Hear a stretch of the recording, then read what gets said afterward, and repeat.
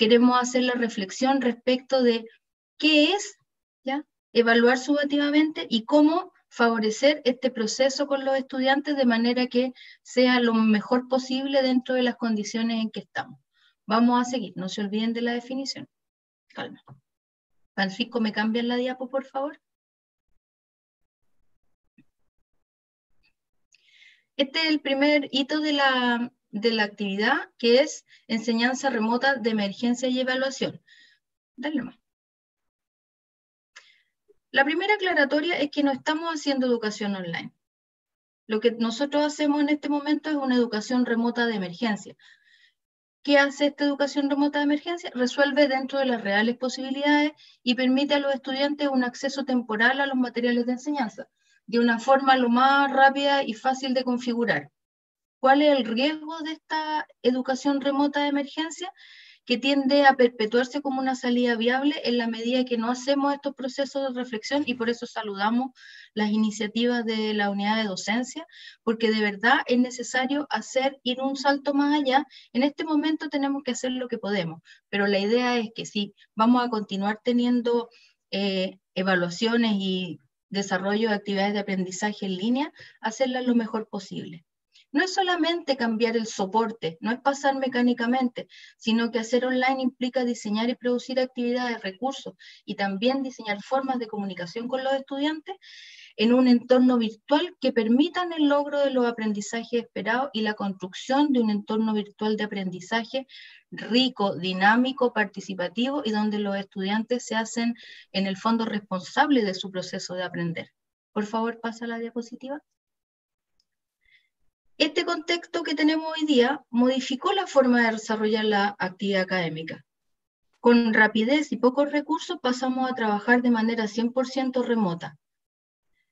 Nos dimos diferentes soluciones, desde no hacer nada, usar las plataformas como repositorio, trabajar de manera sincrónica total, hasta en algunos casos llegar a adecuaciones significativas que permiten funcionar en el formato online como tal.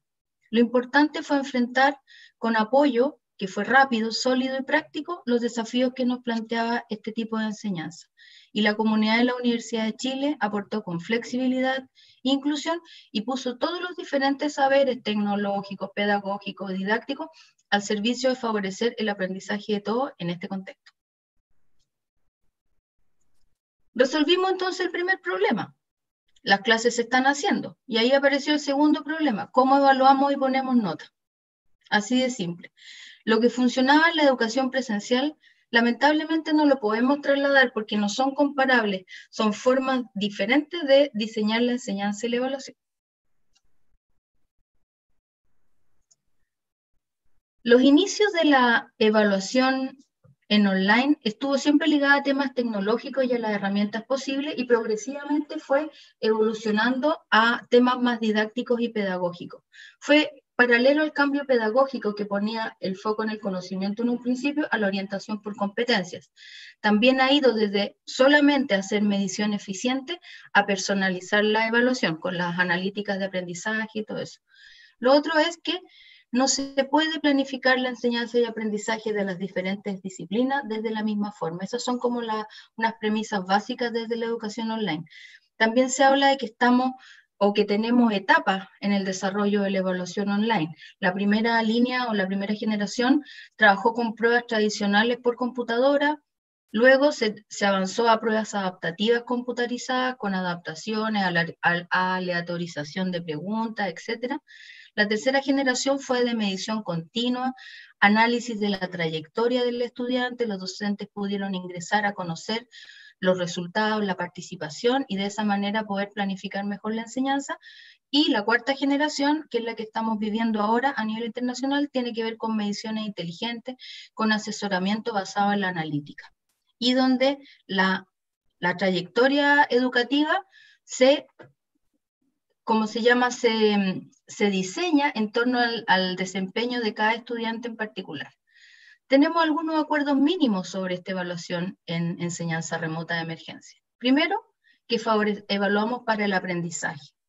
También que favorecemos la evaluación de contexto, entrada y proceso, de acuerdo a este modelo CIP de Staffelbein y SANG, que nos hablan de analizar el contexto en que estamos, que en este momento es súper importante, qué estamos viviendo, cómo están pasando las cosas, la entrada, qué saben nuestros estudiantes, qué conocimientos traen y habilidades que les permitan abordar la asignatura de la mejor manera posible y claramente la evaluación de proceso más que de producto. Y en este sentido, la evaluación de proceso la entendemos como evaluación formativa. Sin embargo, también tenemos que poner nota y planificar la, actividad evaluativa.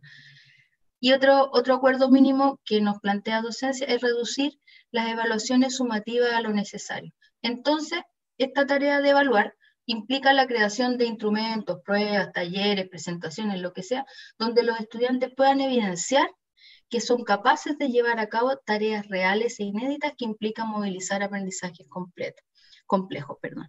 Y esto nos lleva al concepto de la evaluación auténtica.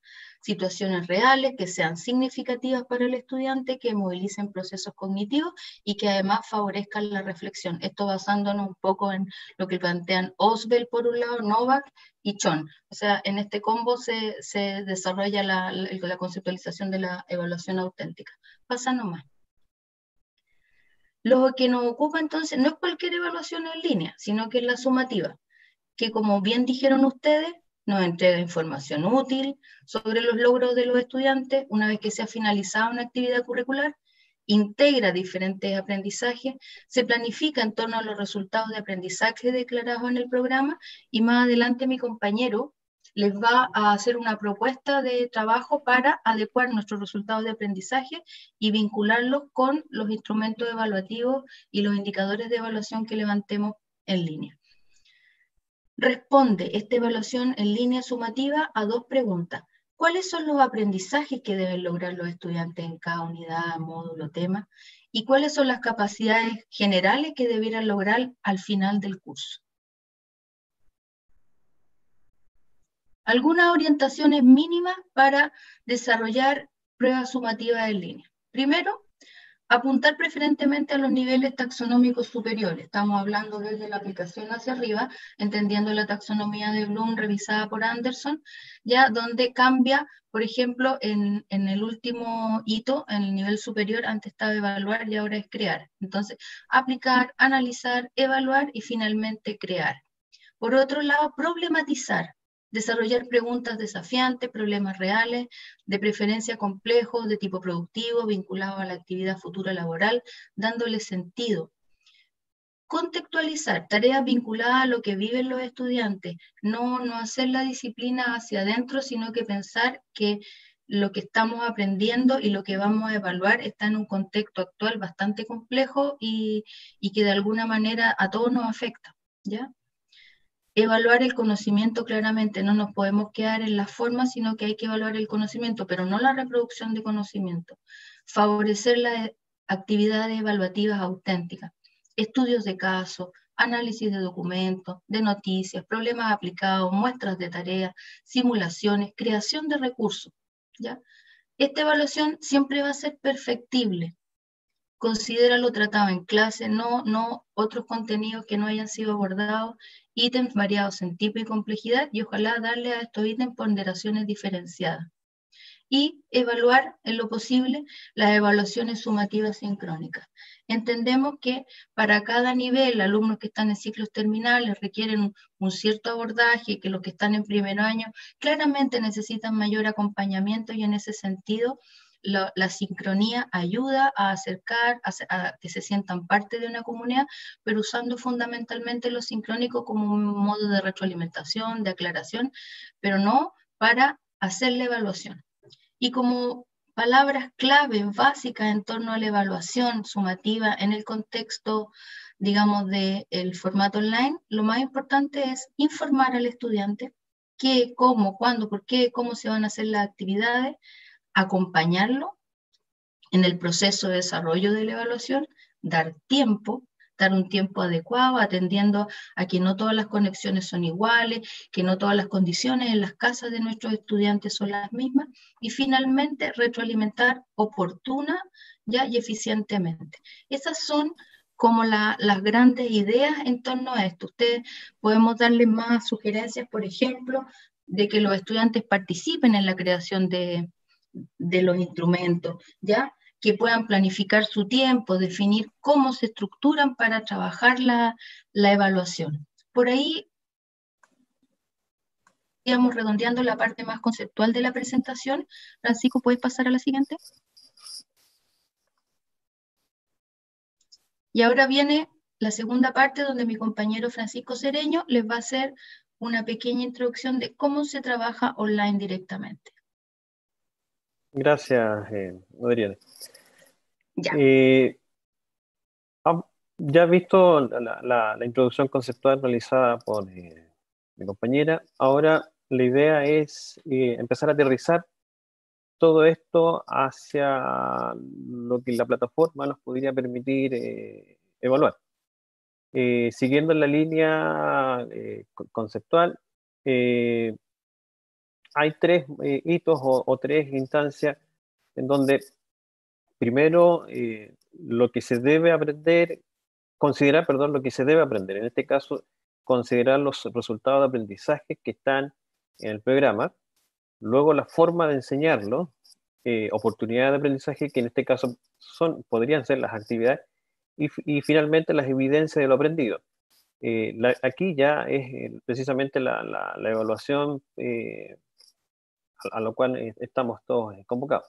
Ahora, dentro de las propuestas que, eh, de las tantas que hay, nosotros sugerimos, por ejemplo, realizar una planificación inversa de la evaluación.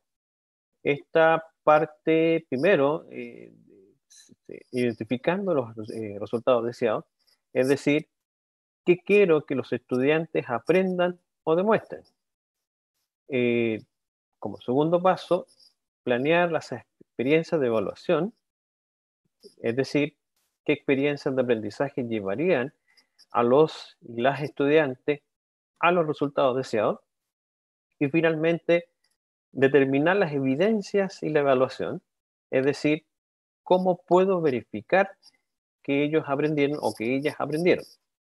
Por lo mismo, eh, hay que considerar el programa de estudio eh, determinar los resultados de aprendizaje que están contenidos en él, posteriormente determinar los indicadores, esto nos va a permitir construir el instrumento, una prueba principalmente o eh, eh, escalas que vamos a ver más adelante en donde la podríamos insertar, por decirlo de alguna manera.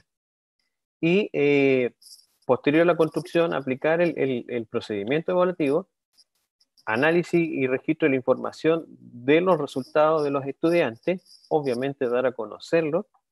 Eh, pudiese ser el caso ahí de, hacer una retroalimentación y finalmente una toma de decisiones que puede pasar desde revisar los ítems a eh, replantear los contenidos que ustedes, eh, que nosotros en muchos casos señalamos. Para que de alguna manera se propone la, la, planificación inversa es para eh, identificar los resultados esperados con la finalidad de centrarse en los aprendizajes más que en la enseñanza.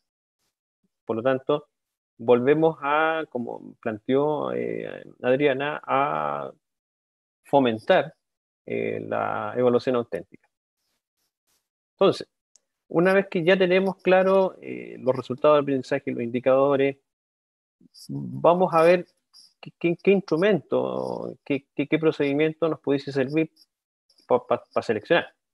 Y tenemos dos grandes eh, categorías. Una son las pruebas, eh, que estas se clasifican en, en, y orales.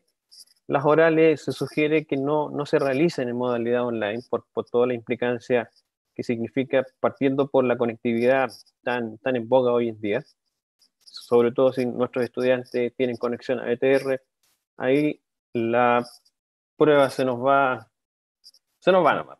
Entonces, y eh, las pruebas escritas, y aquí tenemos las pruebas de, ensayo, de desarrollo, las de respuesta guiada y las de respuesta breve, en donde podemos eh, hacer varios ítems de comparación, de decisión, de asociación o de identificación. Eh, tenemos las de base estructurada en la misma categoría de pruebas, que podemos hacer ítems de verdadero y falso, completación, términos pareados o selección única y múltiple. Todas ellas las podemos hacer en, en, plataforma. y las de desempeño, que tenemos acá, eh, las escalas de evaluación, los portafolios y los mapas conceptuales. Y lo podemos eh, eh, evaluar a través de las listas de cotejo, rúbricas, etc. Ahora, ¿cómo llevamos esto a lo digital, a, implementar en, plataformas tan necesario hoy en día? Por ejemplo, eh, las actividades, como una prueba que se puede hacer, eh, los medios de recursos digitales que podríamos usar, en EOL, por ejemplo, se llama eh, problema. Hay un componente que uno ah, levanta problemas y ahí en, e, en ella se pueden elaborar preguntas de selección única, múltiple, preguntas de desarrollo, de cálculo, etcétera. En UCampus eh, está eh, el componente TES y también si queremos o decidimos hacerlo bajo nuestro eh, sistema, por decirlo de alguna manera, podríamos usar la misma cuenta de Google que tenemos institucional y utilizar Google Forms. Y ella también se puede configurar como cuestionario y se asigna puntaje. Y ahí uno luego aplica una escala y ese puntaje lo, se transforma en nota. También se pueden hacer exposiciones, eh, como sale ahí, las habilidades a medir, eh, argumentación, planeación. Ojo, todo esto en base a los resultados de aprendizaje que ustedes eh, señalan en el programa de estudio o que está señalado en el programa de estudio. Ese siempre tiene que ser el, norte de, al, momento de planificar y al momento de decir, ok, por ejemplo, si yo voy a, hacer a pedir a los estudiantes una, una presentación, eh, bueno, la puedo hacer en PowerPoint, lo puedo hacer en Google Slide, en Prezi, en Poplet, eh, en, en, Padlet, entre otros. ¿Y cómo lo voy a medir? Lo voy a medir a través de las listas de cotejo, las escalas de calificación, las rúbricas, y estas a la vez las puedo hacer en Google Forms, en Google Docs o en una hoja de cálculo, y la puedo publicar en la plataforma para que los estudiantes desde ya sepan eh, cuáles van a ser los criterios de evaluación eh, por los cuales ellos van a ser o ellas van a ser evaluadas. Y esto también se puede habilitar en plataformas a través de los componentes tareas y en el trabajo calificado para que, por ejemplo, el estudiante suba eh, la presentación. Y lo mismo con los organizadores visuales que aparecen abajo, que también lo puedo hacer con los recursos digitales anteriormente, anteriormente señalados. También se les puede pedir a los estudiantes eh, informes, ensayos. Nuevamente, eh, Google eh, Docs y Word nos permiten llevar a cabo dicho trabajo. Y los procedimientos evaluativos también. Los criterios que nosotros levantemos para la evaluación y la calificación posterior lo podemos hacer a través de un formulario Google, un, Google Docs o en una hoja de Excel. Y también le podemos pedir al estudiante que lo suba a un curso a través de tarea o en el caso de usarse eh, en trabajo calificado. Ahora, Moodle, los que usen Moodle también tienen el componente de subir tarea. Por lo tanto, eh, en términos de, de, implementación, cada una de las plataformas es muy similar. Lo que importa acá es cómo se va a seleccionar este recurso digital, hacia qué habilidad quiero medir y para eh, llegar a eh, implementar una evaluación eh, efectiva. Foro y debate que comúnmente se usan para consultas también pueden ser utilizadas para evaluar y ser calificadas en términos de el trabajo que se haga ahí y lo puedo hacer a través de Google Groups. En NEOL hay un componente que se llama discusión y uno curso directamente en foro. También se puede usar las redes sociales como un medio para eh, generar debate. Sin embargo, ahí hay que tener la precaución de que estas son eh, públicas y cualquiera va incluso a intervenir en algo que eh, no necesariamente sean los objetivos de, la misma. Y también, pues, la evaluación la podemos hacer a través de las escalas de calificación, las rúbricas y las listas de cotejo. Las wikis también es una herramienta de, trabajo colaborativo, eh, pertinente para el trabajo actual, sobre todo si se trabaja de, forma remota, y también hacerlo a través de los recursos digitales anteriormente señalados en, términos de, evaluar. Google Form, Google Docs, Excel. Si seguimos, vemos otra actividad como portafolio, lo podemos implementar a través de Blogger, Google Docs o Google Sites. Y también su calificación podría ser a través de escalas y rúbricas, como eh, anteriormente se, ha señalado. Trabajo de investigación, eh, Google Docs, Slide y los procedimientos evaluativos muy similares a los anteriormente señalados. Y finalmente, los glosarios, eh, que también se utilizan y se puede implementar con las herramientas anteriormente mencionadas. Como se pueden fijar, muchas de las herramientas acá se, repiten y la idea de ella es precisamente sacar el mayor provecho posible, cosa de, de no complicarse tanto con nuevas herramientas, sino que usar las que ya conocemos y últimamente estamos utilizando. Una vez ya visto esto, ahora eh, pasamos al trabajo. Eh, perdona, perdona Francisco, una mini intervención. Quería plantearle a, los asistentes, a las académicas y académicos que están participando, eh, la posibilidad de que desarrollen preguntas en torno a esta primera parte antes de presentarnos, o sea, de irnos al trabajo grupal para ir complementando lo que presentaste tú, lo que presenté yo, de manera de generar más diálogo. ¿Les parece? Sí, me parece. tirado el, el guante a ver si tenemos preguntas y las podemos recoger directamente. Por el chat, por favor. Mónica dice si podemos enviar la lista de instrumentos al mail. Por supuesto que la, tanto la presentación como la lista de, los, de, la lista de los instrumentos va a quedar absolutamente disponible. Además, bueno, ahí les vamos a contar del trabajo grupal.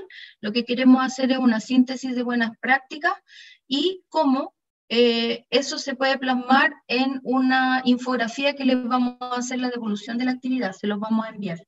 Jimena dice, tengo 120 alumnos de primer año, disciplina en que el análisis y evaluación se les hace muy difícil. ¿Cómo salgo de las pruebas de selección múltiple? Buena la pregunta. Ahí yo sugiero, no sé cuál es tu disciplina, Jimena, ¿ya? Pero la idea es proponerle harto taller, proyecto, donde tengan que reunir distintas habilidades para hacer la presentación. En primer año a los chiquillos les cuesta organizarse, sus tiempos, ¿ya? Entonces, dependiendo un poco de la disciplina, plantearles tareas súper concretas, talleres fundamentalmente o análisis, por ejemplo, ¿qué hacía yo en metodología de la investigación? ¿Ya? Eh, les pedía a los chiquillos que al final del, del ciclo hicieran una ficha de investigación tal como se presentan en los congresos y todo, y eso les implica un trabajo de síntesis, de organizar la información, de dedicarse, a trabajar de manera colaborativa que pone en juego distintas, distintas, ¿cómo se llama?, habilidades y competencias y de esa perspectiva, al final ellos suben a, la plataforma su trabajo final, la imagen en PPT, en, cualquier formato que sea de imagen, y la tienen que presentar después en tres minutos haciendo como el mismo trabajo que se hace en los congresos científicos. Buscar forma de alguna manera que te permitan dar cuenta. El otro día un colega de la Santa María me dijo, oye, tengo mil estudiantes, tengo que aplicarles la misma prueba. ¿Qué hago?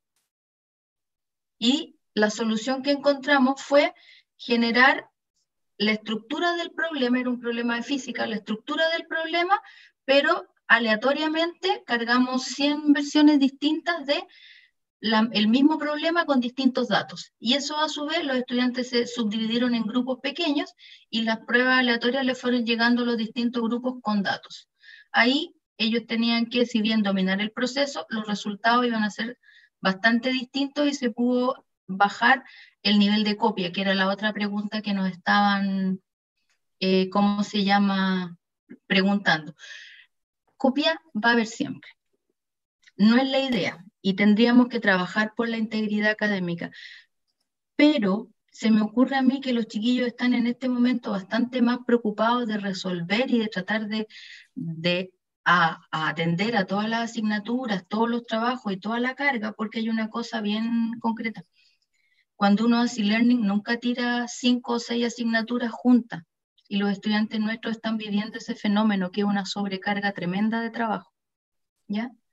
Eh, en general en e-learning los cursos van tirando de a dos, tres, máximo cuatro asignaturas. ¿Ya? Es como para que lo tengan en consideración también los tiempos de lectura. Mientras más, más chico, más bajo el nivel de los estudiantes en términos de entrar a la universidad, el, se demora más en leer y en comprender lo que están leyendo. Entonces también hay que considerar las cargas de lectura para planificar la docencia y planificar las actividades de aprendizaje. Pancho, ¿quieres tomar alguna? Sí, la mayoría de las, de las preguntas que están eh, apuntan a, a, la masificación de, de, los instrumentos en este caso, por decirlo de alguna forma. Eh, no sé, eh, siguiendo en la línea y complementando lo que dice Adriana, por ejemplo, en EOL está la evaluación entre pares.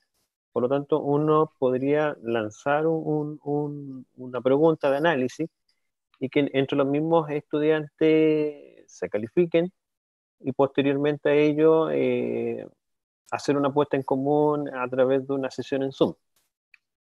Eh, por ejemplo, eh, también el tema de, las preguntas de, de selección única y múltiple, si bien estas progresivamente se sugiere que partan de un nivel taxonómico eh, inicial.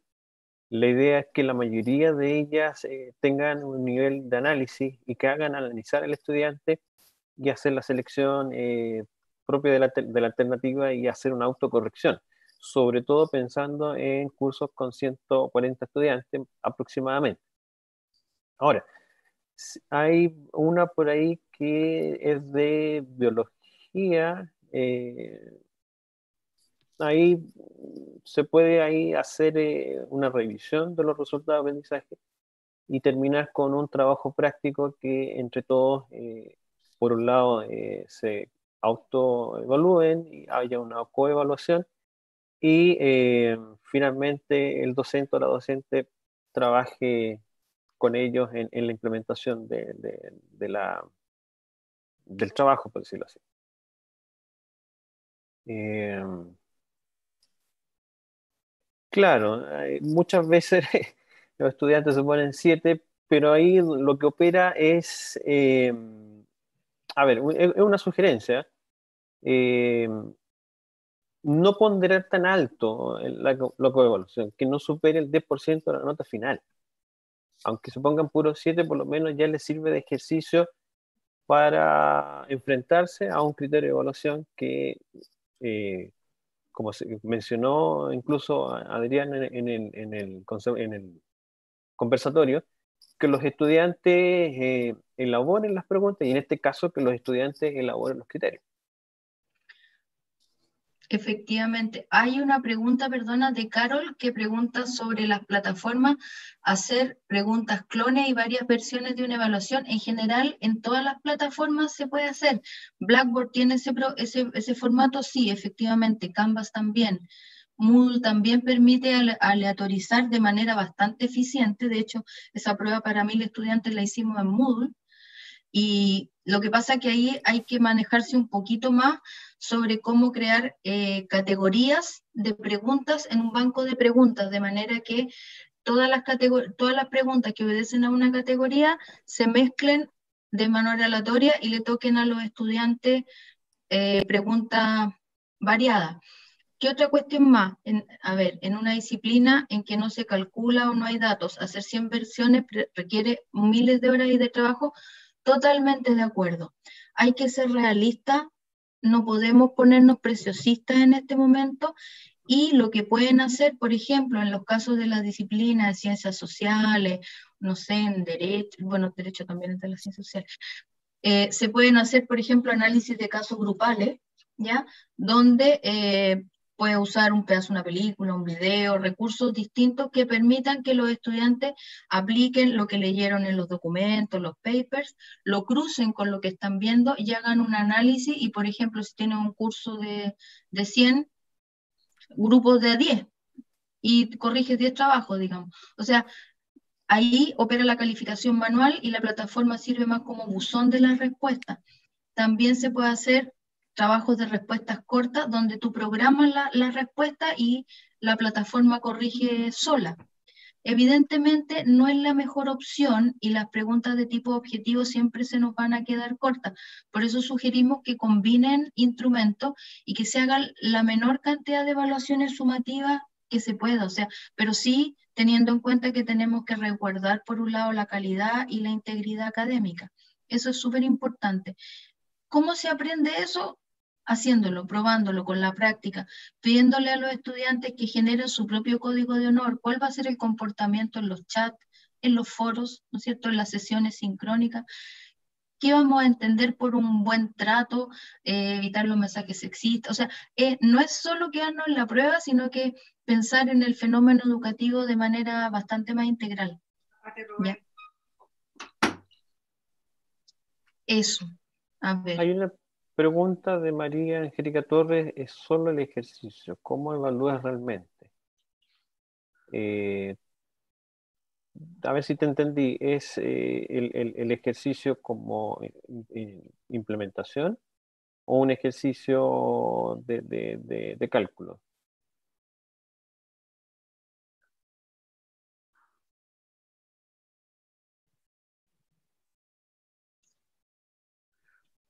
Porque independiente del tipo de ejercicio eh, que se haga eh, o que simplemente eh, si se va a hacer por, independiente de la, de, la modalidad, esta tiene que estar apoyada en criterios de, de, evaluación de la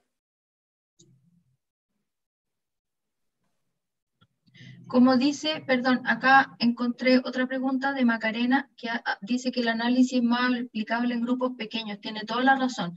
O sea, yo he estado sumergida en un mar de portafolios, no sabiendo qué hacer, un fin de semana completa y los portafolios llegan más arriba que yo. Y, de verdad, evaluar eh, trabajos de, de esas características requiere tiempo y requiere dedicación. Entonces, lo que hay que buscar es una combinación realista y que en este caso ustedes hagan preguntas. A veces se piensa que las preguntas de alternativa, por ser alternativa, no tienen la misma calidad. Se puede hacer una muy buena prueba de alternativas con, con, preguntas que requieran un análisis bastante más de nivel superior a que solamente replicar cosas. Por eso le hablábamos al principio un poco de apuntar a los niveles taxonómicos superiores. ¿ya? Eh, la creación, la evaluación, la aplicación yéndonos por ese lado.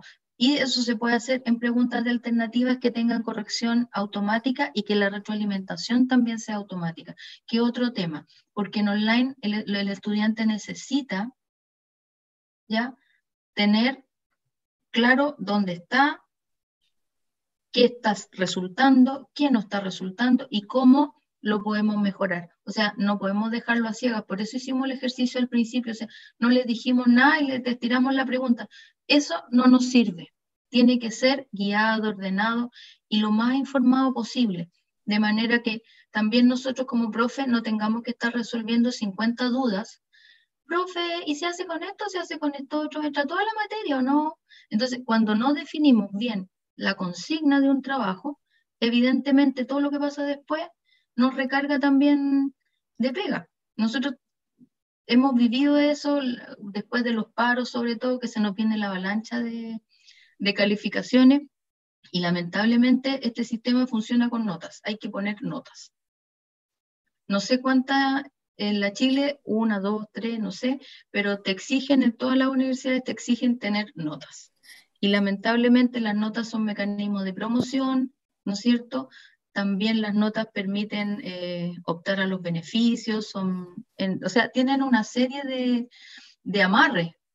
Idealmente uno podría decir, no, yo voy a hacer una evaluación súper holística y todo, pero no se puede, es, parte de la realidad en que estamos. Ojalá se pudiera y yo creo que tenemos que tender hacia allá, ya que desde cada disciplina se opte por la forma y los modelos evaluativos que, más, que sean más adecuados a la disciplina. No puedo evaluar igual en medicina, ¿no es cierto?, que en matemática. Probablemente van a haber sutilezas disciplinares que se tienen que abordar de forma distinta. Eso estamos como, para no pasarnos en la hora, cómo cautelar que la diferencia de criterios y opiniones no impliquen sesgos de evaluación en estos casos. Andrea Paula. Bueno, ese sesgo está, existe. Y la diferencia de los criterios de los académicos es, es parte de, de la realidad, de la libertad de cátedra, y por otra parte tiene que ver también con los imaginarios pedagógicos que tenemos cada uno de nosotros. O sea, obedecemos a, tradiciones de pensamiento, a, paradigmas que de alguna manera pueden ser muy diversos y moverse desde lo más positivista, ¿no es cierto?, a las versiones más críticas sociales. Y en ese sentido, la, evaluación que nosotros hagamos también va a tener esos sesgos. Pensar que hay evaluaciones neutras es de verdad estar pensando como de manera un poco perdida. Nosotros le damos sentido y, generamos un clima de aula que también se replica en los entornos virtuales de aprendizaje, desde, por ejemplo, propuestas de cursos donde yo puedo seguir el curso sola, no interactuar con nadie, no hablar con ningún profesor, no contar con tutoría ni retroalimentación, porque todo está automatizado, hasta los cursos actuales más abiertos que son face to face, o sea, enseñanza uno a uno, es carísimo, pero se puede hacer. Y en este sentido también las evaluaciones obedecen a los criterios. ¿Qué sugerencias? Pónganse de acuerdo como equipo docente. Por ejemplo, compártanse las rúbricas en general. Porque la rúbrica de foro, una buena idea es que para una escuela tengan una rúbrica de evaluar foros de discusión, otra, otra rúbrica de evaluar foros de, por ejemplo, de creación. Y en ese sentido se ahorran cualquier cantidad de trabajo y además está consensuada. Ese es, un, ese es como una sugerencia práctica. No es muy online, pero compártanse las rúbricas, trabajen en equipo. Solos no lo vamos a solucionar. Eso.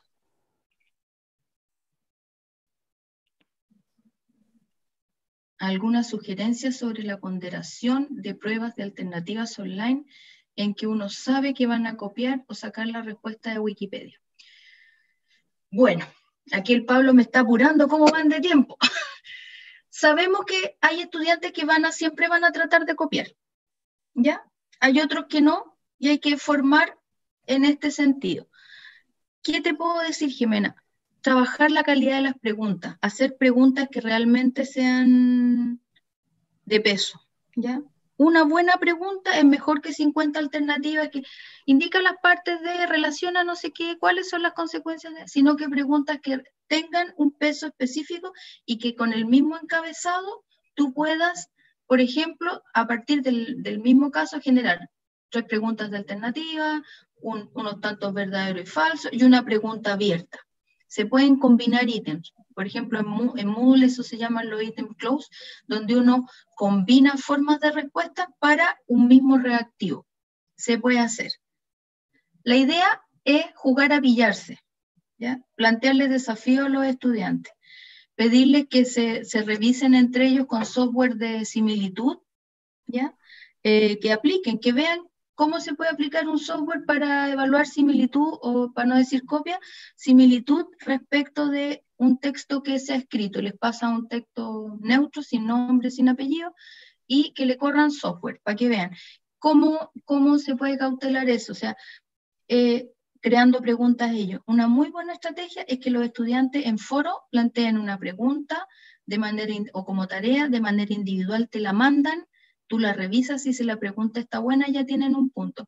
Y con las mejores preguntas construye el instrumento. Los estudiantes son más crueles con ellos mismos de lo que uno piensa. Ahora sí, creo que podemos seguir. Les planteamos nuestro trabajo grupal.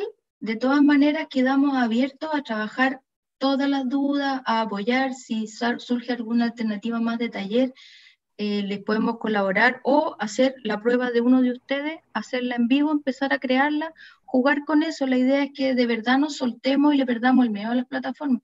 Hay veces que uno se equivoca y las alternativas no calzan, pasan esas cosas y les van a pasar, no pasa nada. ¿Ya? Estamos en un proceso de aprendizaje y de construcción que nos pilló de sorpresa, por lo tanto, hay que aprender entre todos y apoyarnos. En EOL estamos súper dispuestos a trabajar siempre desde el punto de vista de las plataformas y lo tecnológico, de manera de apoyar el trabajo de toda la comunidad universitaria.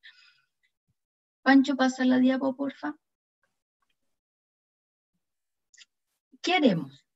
Se han creado grupos de trabajo pequeños, más o menos como de seis personas, donde los invitamos a conversar un ratito respecto de sus buenas prácticas en las evaluaciones sumativas en este periodo, qué cosas le han resultado, cuáles han sido sus dificultades, integrando también los elementos que le hemos compartido en el taller. Para ello, por favor, utilicen un formulario que se les compartirá por chat. Francisco lo va a compartir en este momento, además está copiado en pantalla, ¿ya? Y la idea es que trabajen 20 minutos y luego de estos 20 minutos haremos el cierre del taller. Con la información que ustedes nos manden, que se va a guardar en este Forms, vamos a sistematizar con apoyo del equipo también de docencia que ha estado más pendiente del chat y elaboraremos una infografía que refleje el trabajo de todas y de todos. La idea es que generar materiales que nos aporten y que sean lo más concretos posible. Eso. Muchas gracias. Los invitamos. ¿Qué hora es? 419, los invitamos a que se junten en las salas que se han diseñado.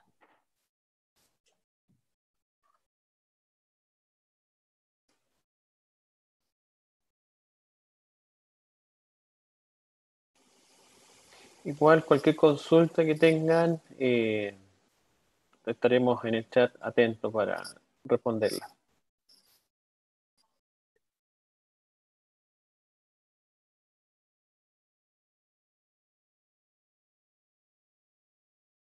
Eh, así como haciendo un resumen de, lo, que eh, pudimos ver tanto en los, chats como lo que posiblemente se haya repetido en cada uno de los grupos de discusión, es que no hay que, como dijo Adrián en un, momento, hay que atreverse a, probar.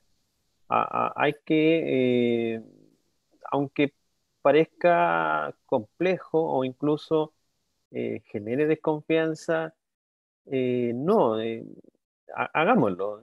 si los estudiantes se copian, bueno, por último, buscar ahí una forma de arreglar la ponderación o ponerle la calificación y decirle, esto es lo que pasa. en el grupo, por ejemplo, donde estuvimos, precisamente salió eso de eh, la confianza que tenemos que tener a los estudiantes, sobre todo en, estos tiempos de, pandemia en donde eh, hay una sobreexigencia. Eh, muchos creemos que cuando hacemos clases tenemos solo la, asignatura y es nuestra asignatura la más importante. Todas son importantes. Por lo tanto, en ese sentido hay que lanzarse y apuntar a una evaluación auténtica y aprobar eh, recursos que nos permitan de alguna manera conseguir los resultados de aprendizaje que en el programa están eh, establecidos. Eh, eso como cierre final, los invitamos a, innovar en, términos de evaluación y no solamente a quedarnos con las preguntas de, de selección única y múltiple, que son muy necesarias, pero también eh, los portafolios o, la participación en foros o, las exposiciones eh, también son recursos eh, evaluativos. Eso, no sé si hay alguna acotación. Quizás alguno de los grupos a lo mejor quisiera compartir un poco lo que, lo que conversaron, ¿cierto? ¿Ya?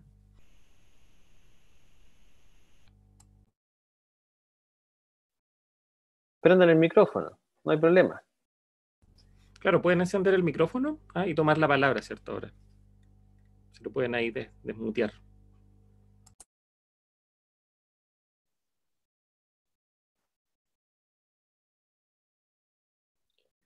bueno, yo primero agradecer la, digamos, la eh, oportunidad porque, porque ha sido más concreta que otras que hemos tenido y, eso es, o sea, es útil porque es más práctico, porque en general hemos tenido harto respaldo desde el punto de vista teórico de cómo hacerlo, cuando uno trata ya la práctica es mucho más difícil y se encuentra con, con, las limitaciones, como por ejemplo que he comentado en mi caso, que no, podemos, no puedo hacer evaluaciones, tampoco evaluaciones perdón, sincrónicas, entonces eso te deja la mitad de los instrumentos todos fuera y hace mucho más difícil ponderar, hace mucho más difícil, te, aumenta mucho más la carga de trabajo. Las facultades te exigen un montón de cosas adicionales al hacer este tipo de, de, de clases y te duplican la cantidad de pega pero no te dan ninguna herramienta. Y los alumnos presionan enormemente en contra, sin el respaldo, en mi caso, de la facultad a los profesores. Entonces es súper difícil.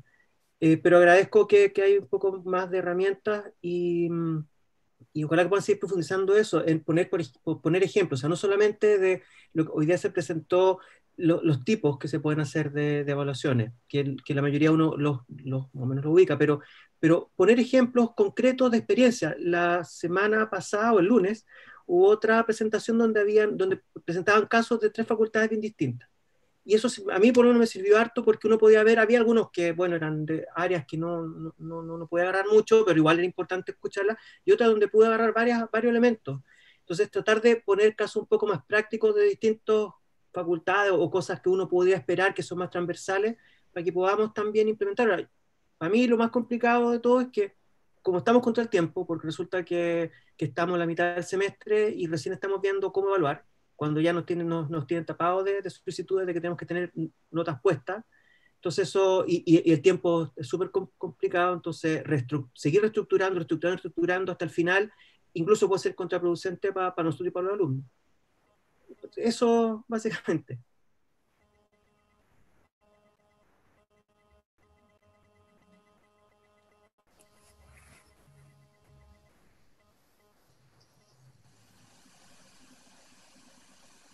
¿Alguien más? Yo voy a estar por el chat, Francisco, tú dale por, por acá. Muteo. Ya. ¿Y puedo hablar yo? Sí.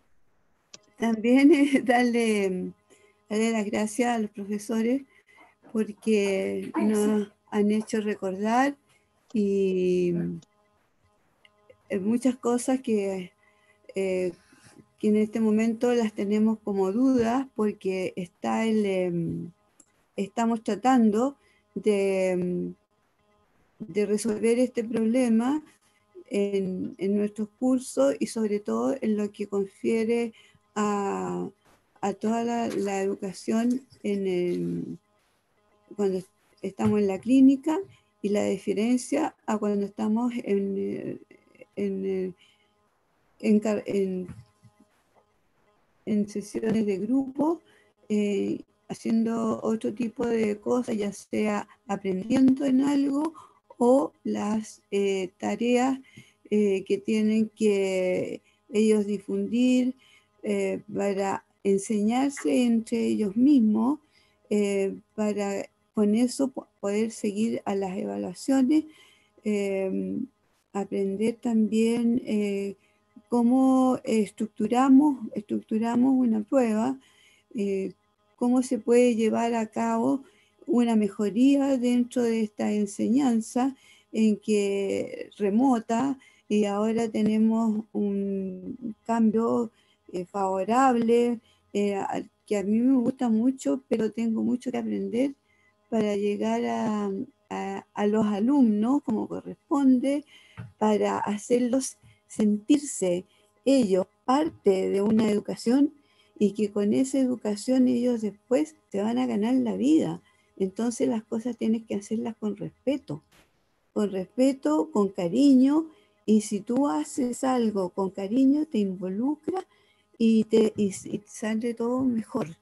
Y si vemos que hay alumnos que no pueden responder a ello porque tienen susto eh, no saben cómo tomarlo, es un cambio al cual le tienen miedo y, y el miedo sale eh, en que no quieren hacer nada porque está todo mejor.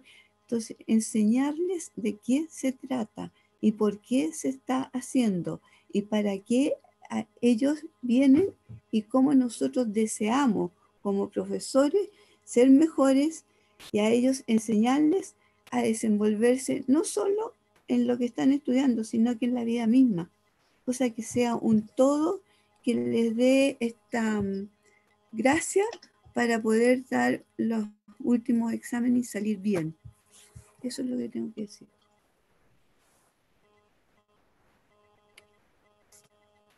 Sí, no, hay, hay que hay que equilibrar, hay que equilibrar la, la situación y, evitar que la evaluación se transforme como un castigo, porque eso precisamente va a generar miedo en, tanto en los estudiantes y en el caso de los docentes o de las docentes, un, trabajo extra.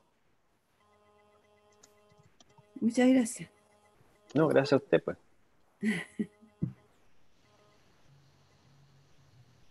¿Quién más? Todavía nos quedan unos minutitos. Quizás alguna otra intervención más o quizás ustedes también quisieran aportar un poco porque también participaron en, en alguno de estos grupos. Ahí Mario Flores tomó la palabra. Mario, te escuchamos.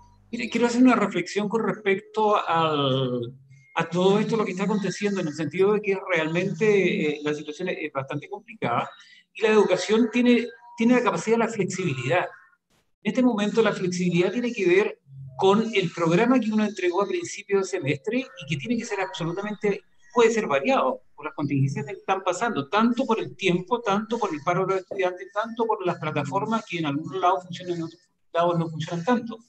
Y el, el, problema del, eh, de cambiar la estructura del programa tiene que ver también con cambiar la estructura de, la, de las evaluaciones. Entonces, en el periodo de tiempo que estamos pasando, hay hay facultades que están en paro, algunos no responden.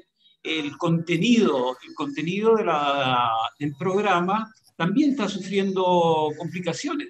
Por lo tanto, sufre complicaciones el programa y dentro del programa y dentro del proceso de aprendizaje, enseñanza-aprendizaje, está una parte que es importante, importante a la medida que le damos la importancia, que es la evaluación. Y la evaluación, te, al menos lo que me está pasando a mí, yo la evaluación la estoy haciendo consensuada con los estudiantes y me está resultando, porque los, los estudiantes no solamente tiene la asignatura de uno, tiene cuatro, cinco, seis asignaturas y tiene que estar respondiéndole a todos los demás profesores y el nivel de estrés que están teniendo los, estudiantes en ese momento es, complicadísimo.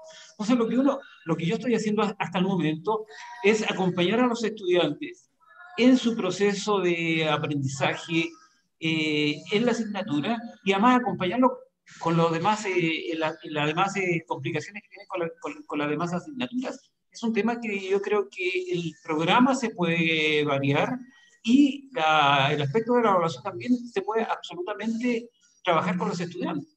Solamente eso.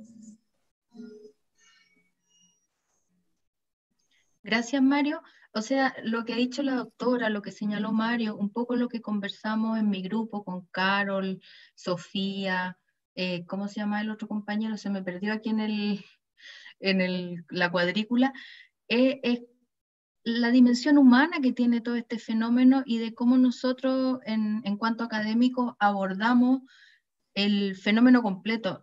Cuando educamos no solo hacemos pruebas o medimos contenido, formamos de manera integral o esa debiera ser un poco en la orientación que darle, sobre todo en este momento. Entonces, quizá eh, de alguna manera trabajar específicamente podríamos hacer, se me está ocurriendo así como en voz alta, hacer talleres focalizados más por facultades o por disciplina, donde se pudieran abordar las temáticas que en cada área del conocimiento son más relevantes. Acá dice Alma, creo que las palabras son flexibilidad, creatividad y colaboración, y creo que tiene mucha, mucha razón. Este es un tiempo en que tenemos que nosotros como académicos colaborar, ¿no? ¿Ya? Eh, no pensar de manera individual, sino que hacer un trabajo más de equipo, de escuela, más colectivo. Y claramente con los estudiantes también invitarlos a, a bajarle la angustia, a que si falla algo, no pasa nada, lo hacemos de nuevo, lo más que puede pasar es que haya que hacerlo de nuevo. Tal como nos falló el formulario ahora, y se supone que trabajamos en eso, eh, pasan cosas. En, cuando usamos medios o la comunicación está mediada, pasan cosas y, no, y se nos va a olvidar activar una cosa o no darle acceso a todo el mundo. Son cuestiones naturales. Y a los chiquillos también esas cosas, por muy millennials y muy nativos digitales que no son ni tanto, eh, también les pasan. ¿Ya? Porque están acostumbrados a usar redes sociales o a buscar información, pero cuando profundizamos un poquito más allá, en general no saben tanto. ¿ya? Así que eso como para bajarle la ansiedad. Nosotros estamos haciendo un proceso como adultos de aprender y desaprender a enseñar en un formato que es absolutamente nuevo para muchos de los académicos que están aquí presentes. Entonces, ya ese desafío nos pone un peso. Y además para los chiquillos la situación y el contexto también está siendo súper difícil.